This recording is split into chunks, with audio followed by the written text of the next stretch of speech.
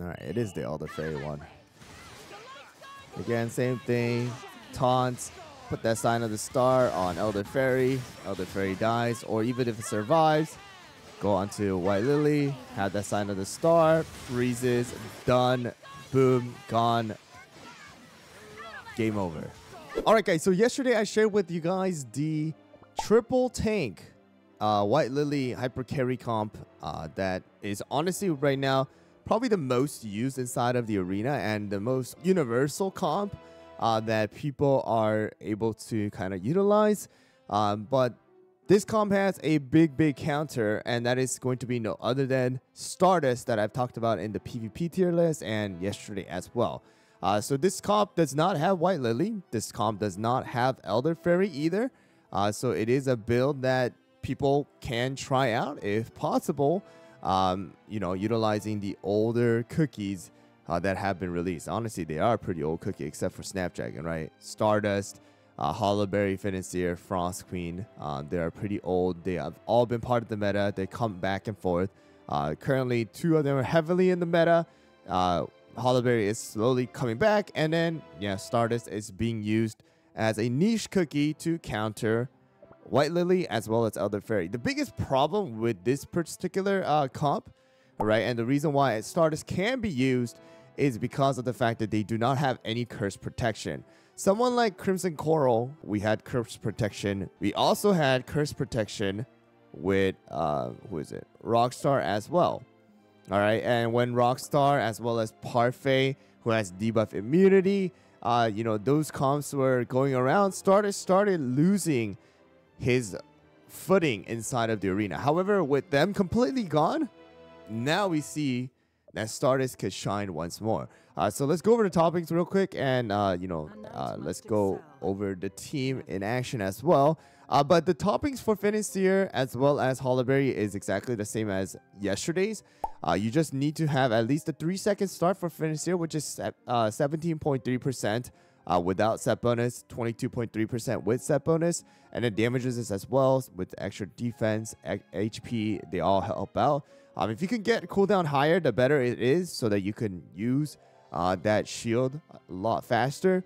And then for the uh, biscuit, I would say damage resist, uh, you know, cooldown, defense, they all help out with Financier. I would say damage resist and cooldown are a little bit better than the others as well. Uh, I just got really lucky with the insane amount of damage resist, so I'm using it because we're using Swift Chocolate on Financier. All right, next one is going to be Hollyberry. Hollyberry is using the full solid almond build, uh, just like yesterday. Uh, so we have the damage resist as well as cooldown. Cooldown, the higher, the better is going to be. Around 6% is recommended. And then for the biscuit as well, again, damage resist, HP, defense, or any other, uh, you know, substats that are going to help in survivability is going to be good. All right. Uh, and the next one is going to be Stardust. Stardust is pretty simple. You could uh, use the full-on Juicy Apple Jelly just like before. If your Stardust is strong, uh, you know, your, your promotions are strong uh, in the current arena where your ranking is, then go ahead and use the full Juicy Apple Jelly with damage resist as well as cooldown if your Stardust is like zero star promotion, start uh, slowly dying off because your other enemies are just really, really powerful, uh, then go with the full solid almond build. Uh, that is fine too because you're mainly using Stardust for the sign of the star debuff. Uh, and then, you know, Frost Queen is going to be doing the main damage dealing here. All right. And cooldown, attack, crit, damages is bypass, damages is. Those are all going to be helpful for Stardust. And then with that said, let's go into the Frost Queen. Uh, it's going to be full on Searing Raspberry, focusing on damage resist, attack, as well as crit. Cooldown is not the most necessary here. Um, and then for the Biscuit, we have damage resist, cooldown, damage resist bypasses. Uh, again, attack, crit, also definitely helpful. And the last one is going to be Snapdragon, same as uh, yesterday as well. Uh, maximum cooldown, no damage resist, and then extra attack crit attack speed helps out. And then with the uh, you know the biscuit cooldown cooldown attack. Need to change this at hp but uh, didn't have the chance yet. All right uh, the treasures are going to be the scroll whistle as well as the jelly watch. We have the whistle being applied uh, to frost queen as well as stardust. All right um, so let's go into it. I'm going to show you guys uh, first against my team right? Uh, this is the team that I am using, the team that I shared yesterday, exact same toppings, biscuits as well. Uh, we just go into practice mode uh, once you click on defense, and then let me show you guys the Stardust team in action. All right, so right here, you're gonna be able to see Stardust goes up. Uh, again, Stardust does have that extra damage resist that Stardust is able to go and uh, get. You saw right there, the curse applied to Elder Faerie. The freeze happened, completely got rid of, you know, Elder Faerie. And then right after, right, you go into Stardust, putting that sign of the star debuff on White Lily, preventing all of the extra buffs. And boom, Frost Queen just absolutely destroys the enemies.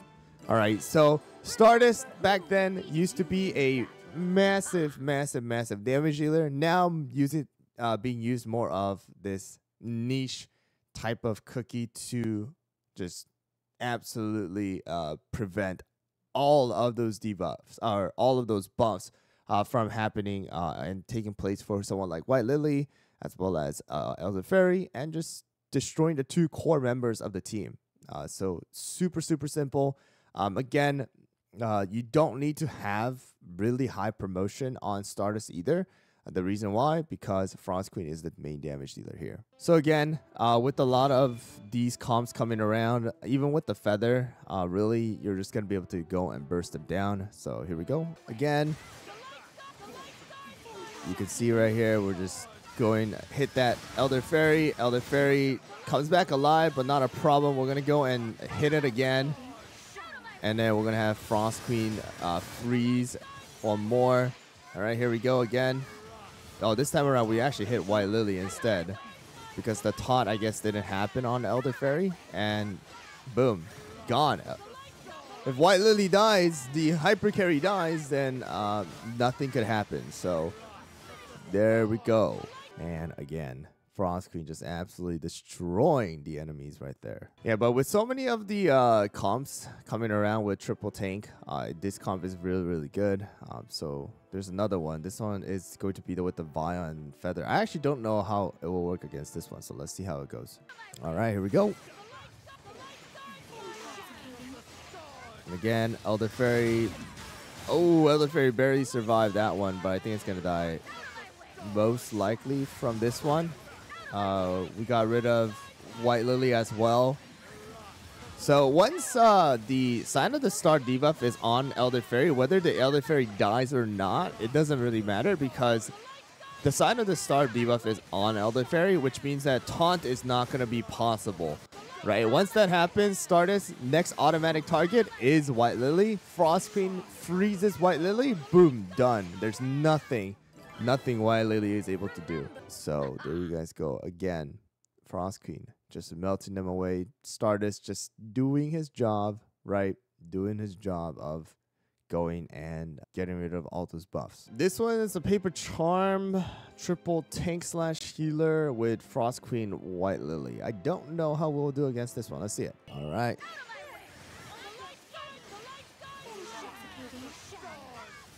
We are most likely hitting uh, Fettuccine. Yep, we hit Fettuccine.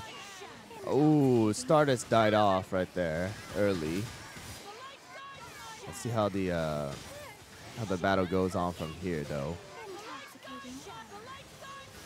Wow. Yep. Let's go up against this one too. I don't know what this one is. All right. This one's Elder Faerie Financier with Frost Queen and White Lily. And wow, our Stardust just taking so much damage in the beginning here. Alright, come on. Are we able to survive until the next one? Oh, Stardust not able to use the skill. We did get rid of Elder Faerie. So now it's up to our Frost Queen to uh, do the damage here.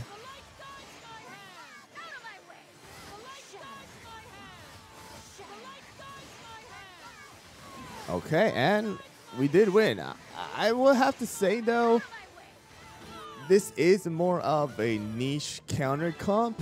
Um, it does work against a lot of the, I would say, just Elder Faerie um, and, you know, White Lily comps in general is not bad. But there you guys go, a uh, niche Stardust comp, but I would say it's a pretty good one against, again, uh, if you do see any of the Elder Faerie and White Lily sticking around inside of the defense teams, uh, then I would say these two are going to be countered really, really well uh, by Stardust. I would say that's probably going to be a gr uh, great uh, team to use inside of the arena because the arena right now, uh, whether you guys know it or not, it is rock paper scissors. Uh, more than the stars uh, coming into play right now, a lot of the actual, you know, actual counters are playing a heavy uh, heavy role in actually making you either win the battle or lose the battle. So make sure to know the counters. Again, right now the White Lily comps as well as Elder Faerie White Lily comps are being countered uh, by Stardust with someone like Frost Queen. Uh, so keep that in mind. But again, uh, this is probably a great overall comp. No one really uses this as defense, uh, so just keep that in mind as well. Uh, but yeah, there you guys go. The Stardust comp that I talked about as uh, that I you know mentioned inside of the PvP tier list as well as yesterday's video as well.